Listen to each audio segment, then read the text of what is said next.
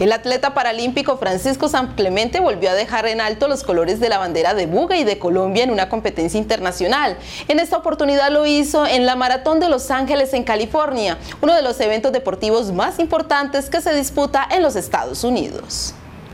Francisco San Clemente logró ubicarse en el primer lugar del podio en la Maratón de Los Ángeles, California, una de las maratones más multitudinarias de Estados Unidos, con más de 24 mil participantes.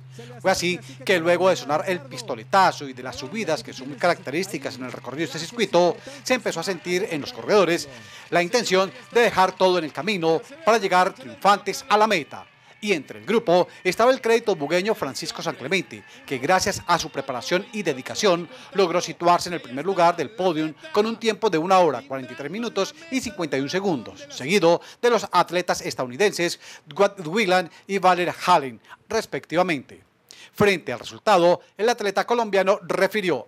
Estoy muy pero muy contento, estoy eh, satisfecho con toda la preparación, todo el entreno, todo lo que he hecho estos últimos meses, entrenando tantas subidas, pensando en esta maratón de Los Ángeles que sé que tiene unas elevaciones impresionantes.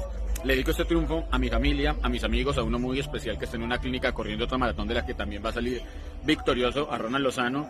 Le dedico este triunfo eh, a las personas que están conmigo en el día a día, a los que me apoyan, a mis patrocinadores. Con estas palabras, el atleta paralímpico subió al podio a recibir su medalla de oro y la ovación y reconocimiento de quienes en vivo presenciaron la gesta realizada por el atleta bugueño en tierras extranjeras. Felicitaciones, campeón.